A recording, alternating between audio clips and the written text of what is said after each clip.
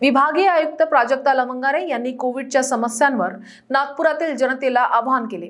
मध्यंतरीच्या कालावधींमध्ये नागपुरातील कोविडच्या रुग्णांची संख्या वाढत असून आता सुद्धा ती अधिक वाढण्याची दाट शक्यता आहे.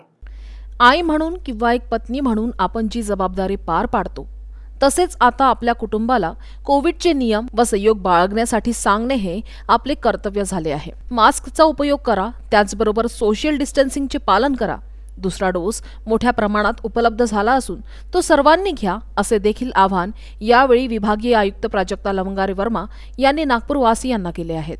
मी प्राजक्ता लवंगारे विभागीय आयुक्त नागपूर विभाग.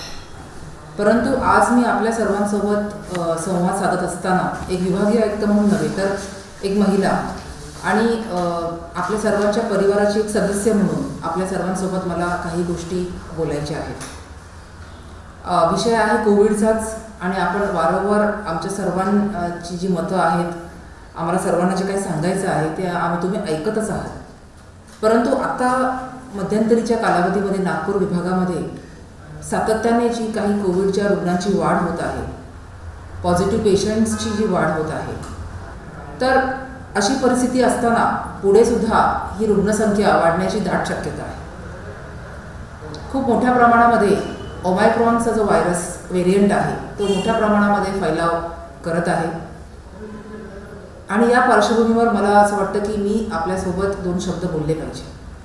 आई म्हणून किंवा एक पत्नी म्हणून एक बहीण म्हणून आपण आपल्या घरची जशी जबाबदारी सांभाळतो तशीच आपण आपल्या कुटुंबाला सुद्धा कोविडचं पालन करण्यासाठी सांगणं वारंवार सांगणं आणि सजग राहणं त्यांच्यावर त्यांना त्यांना संयम बाळगण्यासाठी सांगणं हे आता आपलं आद्य कर्तव्य झालेलं आहे.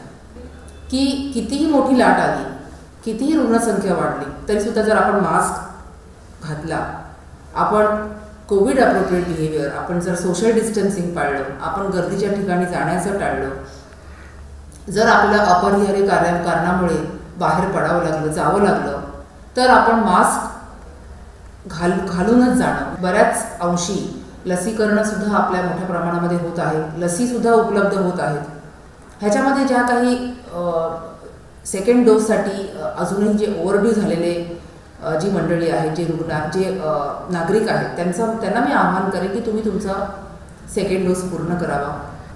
तर ही दुसरी बाब मला सांगायची आहे. ज्यांचे दोन डोस पूर्ण झालेले आहेत त्यांनी प्रिकॉशन डोस